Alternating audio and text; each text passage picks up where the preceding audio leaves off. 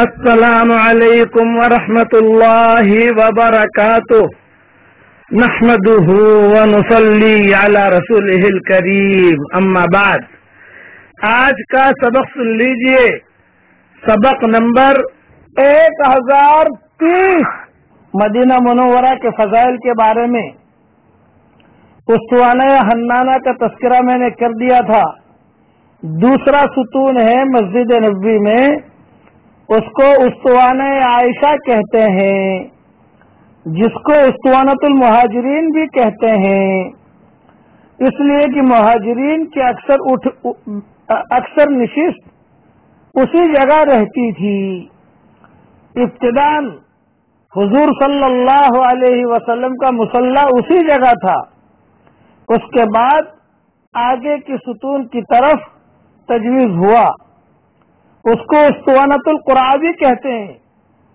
जिसकी वजह यह है कि हज़रत आयशा रदी अल्लाह तहा ने हुजूर सल्लल्लाहु अलैहि से नकल किया कि इस मस्जिद में एक जगह ऐसी है कि अगर लोगों को इसका हाल मालूम हो जाए तो इसके लिए हुजूम की वजह से कुरा डालना पड़े।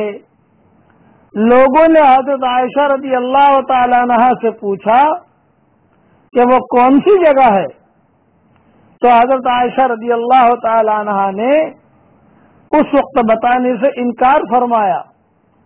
उसके बाद हज़रत अब्दुल्लाह इब्न जुबैर रदी अल्लाह तमा के इसरार पर हज़रत आयशा रदी अल्लाह तहा ने उनको बताया इसीलिए उस तोाना आयशा रदी अल्लाह तहा कहते हैं कि उनकी हदीस और उनके तायन से इसकी तयन हुई।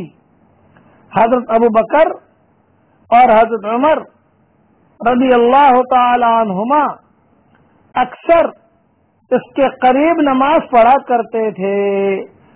एक हदीस में आया है कि उस्तवान आयशा के पास दुआ कबूल होती है। इसलिए हज में जाने वाले, इसका अगर अल्लाह ताला तौफीक दे, बगैर लड़ाई बड़ाई के वहाँ जगह मिल जाए तो वहाँ दो रकात नमाज़ पढ़ ले और इस नाकारा के लिए भी दुआ करना और पूरी उम्मत के लिए दुआ करना। हाँ उम्मत के लिए माफ़ी की एक मरतबा दुआ मांग लेना। मेरे साथ पढ़िए एक मरतबा। चाहे हज हो तो हाजी भी पढ़े और हाजी न हो, जो गैर हाजी हो, अपने अपने मुल्कों में हो, वो भी पढ़े। पढ़ लीजिए मेरे साथ एक मरतबा। अल्लाह मगफिर ली वलील मुमिनीना वल मुमिनात वल मुस्लिमीना वल मुस्लिमात। हुजूर सल्लल्लाहु अलैहि वसल्लम ने फरमाया, जो एक मरतबा ये दुआ पढ़ ले तो दुनिया में जितने मुसलमान मर्द औरतें होंगी, उन सब के बराबर अल्लाह उसे नेकियाँ देगा। तो अभी आपने, मैंने पढ़ लिया तो मुझे यकीन है कि मेरे हिसाब में जितने मुसलमान मर्द औरतें दुनिया में हैं, उन सब के बराबर नेकियाँ मेरे हिसाब में आ गई। आप पढ़ोगे तो अल्लाह ताला आपके हिसाब में भी दे देगा।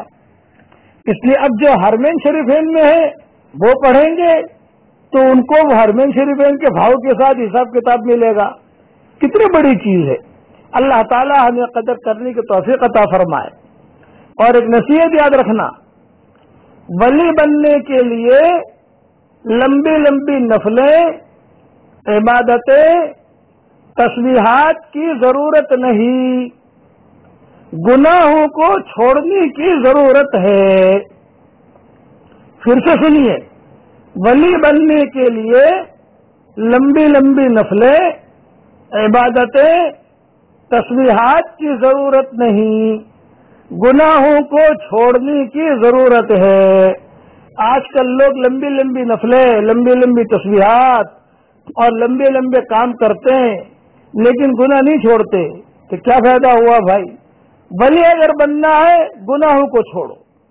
हजूर सल्लल्लाहु ने दुआ मांगी है अल्लाह हमनी बितरकिल मासी अबदम मा तनी या अल्लाह, गुनाहों से बचने की तो मुझे तोफीक दे।